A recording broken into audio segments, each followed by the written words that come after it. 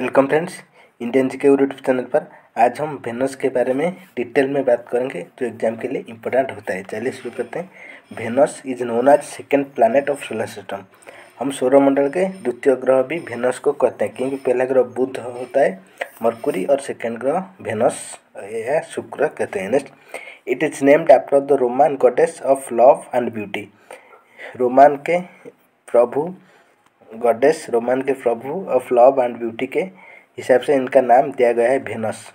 Next, known as morning star and evening star. याद रखिए very important point Venus को हम मॉर्निंग स्टार कहते हैं और इवनिंग स्टार भी कहते हैं वेनस को। Next it is brightest planet या सबसे ब्राइटेस्ट प्लानट होता है, सबसे उज्जवलमय ग्रह होता है सौरमंडल में। ये भी याद रखिए। Next, known as twin planet of earth हमारा पृथ्वी का ट्विन प्लानट भी हम वेनस को कहते हैं। याद रखिए अर्थ का ट्विन प्लानट किसको कहते हैं ना? वेनस को कहते हैं next moves from east to west ये भी याद रखें इंपॉर्टेंट एग्ज़ाम में आ चुका है वो बार Venus east to west move करता है।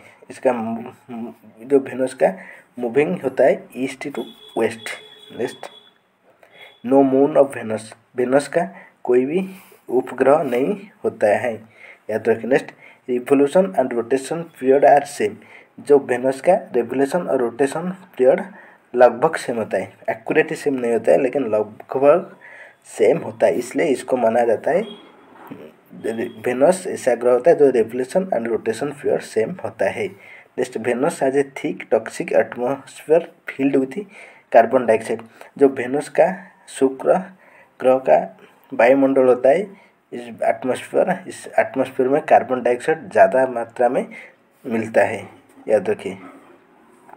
It is known as inner planet इसको हम इनर प्लानट भी कहते हैं। याद रखिए वेनस को इनर प्लानट भी कहते हैं। धन्यवाद फ्रेंड्स इस तरह न्यू एजुकेशनल वीडियो पाने के लिए हमारे चैनल को लाइक सब्सक्राइब एंड शेयर कीजिए। बेल आइकन प्रेस कीजिए ताकि आने वाले सब वीडियो आपको पहले मिल सकते हैं। Thanks for watching take care bye bye